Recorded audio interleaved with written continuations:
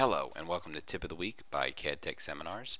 Uh, this video we're going to cover how to locate walls and lines that are out of axis in Revit and AutoCAD, all versions.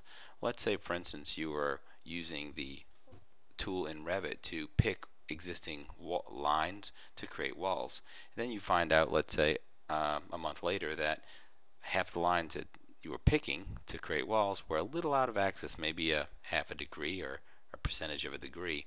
So now you've got this Revit model full of lines and walls that are out of axis and you'll get these warnings that pop up. So how do we go about fixing that?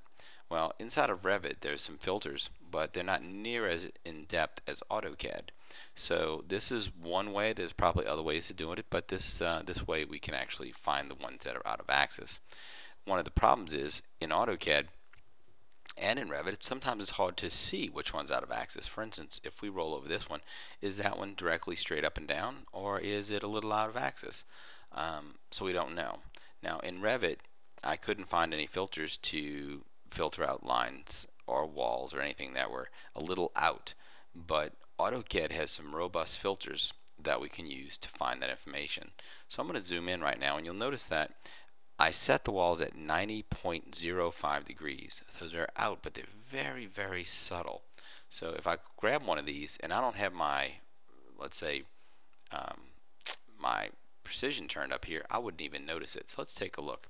I'm going to type in units, and I'm going to set my units to, let's say, maybe one decimal place, like so.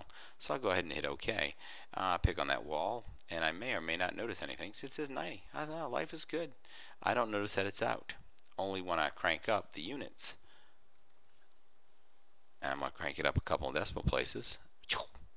We hit OK on that. Now you'll notice that when I pick that element again, you'll notice that it is uh, it is out. So I'll grab it and notice it's uh, it's a half degree out.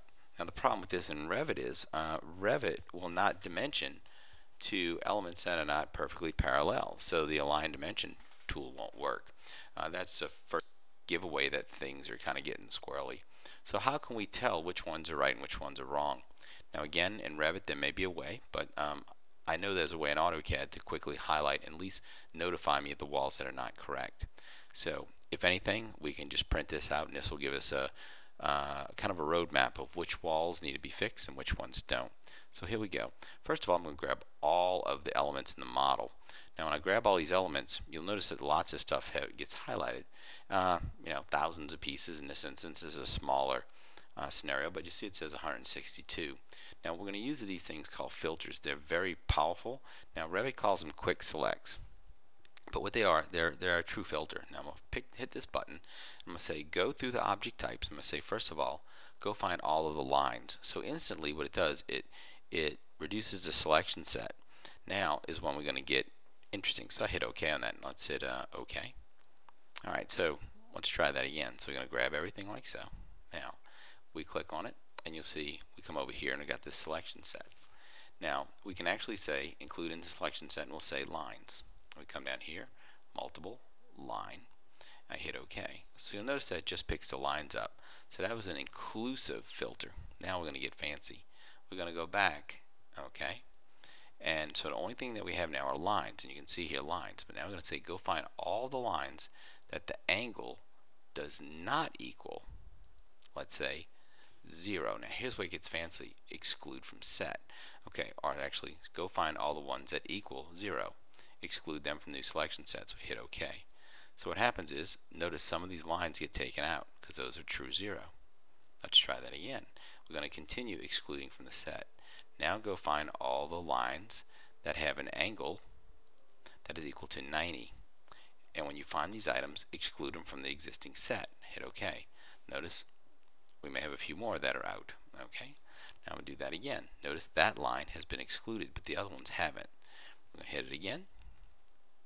I'm going to say at this point, go find again all the ones that have an angle that equals, this time we'll do 180 have to walk it all the way around. We hit OK. Exclude those from the set. So notice it took that line out of above and took out a few more. We do it again. Okay, so that was, uh, I think, 180. So we're going to go say, go find a line where the angle equals 270. We exclude those from the set. Again, you'll notice more of them are, are being removed from the set. and then again we're going to go go find all the other ones that um, equal angle and we're going to type in 360 because lines can be drawn either from 0 uh, in a 0 direction or 360 degree. I hit OK and now the other ones come out. So what we've done now is we've taken out all the angles that we know. If you have an angle of 45 degrees, type that in too. That would be excluded from the set. So only things that are left are now the ones that are, let's say, uh, not 0, 90, 180, 270, 360, or any other angles that you have in that, in, that you know are in the project. So now what do we need to do? We need to go change them. So I'm just going to force a color. I'm going to say take, turn all the ones that are screwy to a particular color. I'll pick magenta. So I'll override them, and there we go. So uh, I hit escape twice. All the objects in magenta are not parallel.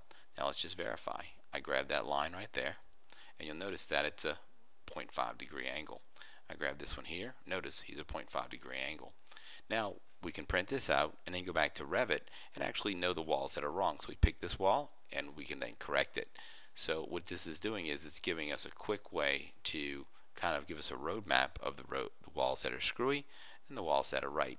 May not be the most uh, efficient way, but it will roadmap it for us, and then we can go back to the model and just some old, uh, you know, time and effort to to make sure all those elements are correct. Now you could probably grab a whole bunch of them at one time and straighten them up in Revit, but as of right now, this is going to give you the roadmap to what the problems are. All right, uh, so hope that worked for you guys. Uh, that is the tip of the week. We go back here. And if you have any questions, feel free to give us a call or check us out on the web at cadtechseminars.com. Thank you.